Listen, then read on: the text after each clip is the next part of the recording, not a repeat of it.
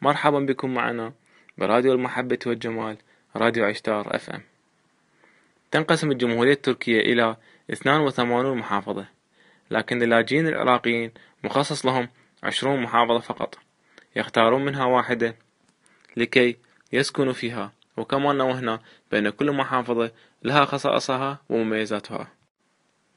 معاناة أهلنا العراقيين هنا متعددة وكثيرة. ومنها سوء استخدام ما لديهم من أموال وينفذ كل أموالهم ويضطرون للعودة إلى العراق.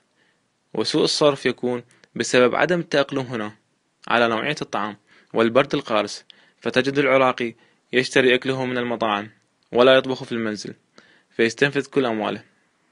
أما المعاناة الأخرى فهي يصعب علينا الحديث عنها لكونها تمسنا لكوننا عراقيين وهي هناك بعض العراقيين وأؤكد البعض منهم يستغلون اللاجئين الجدد لأنهم لا يعرفون الأماكن والطريق إلى المفوضية السامية للاجئين ولا يجدون اللغة التركية فيستغلونهم ويبتزونهم.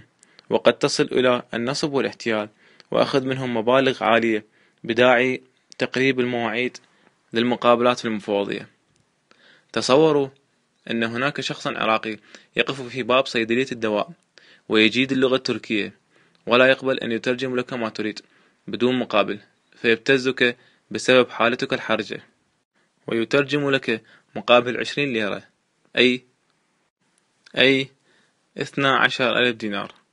وهذه الحالة تعتبر بسيطة أمام عشرات الحالات. ولذا ننوه كل أهلنا الذين ينوون المجيء إلى تركيا إن كانوا لاجئين أو مسافرين وسياح. نود منهم الحذر وعدم الثقة بأي شخص مهما كان أسلوبه بالكلام. وتحياتنا لكم أحباؤنا. عسى أن وفقنا الله وإياكم في إيصال صوت أهلنا اللاجئين العراقيين في تركيا. شكرا لكم. كان معكم من كوتاهية تركيا نور حمود.